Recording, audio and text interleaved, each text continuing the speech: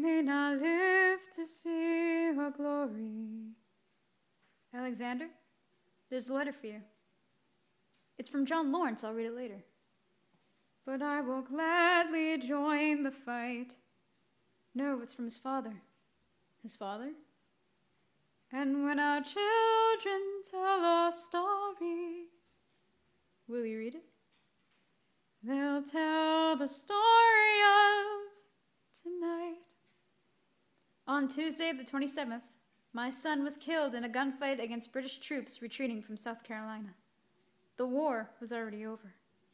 As you know, John dreamed of emancipating and recruiting 3,000 men for the first all black military regiment.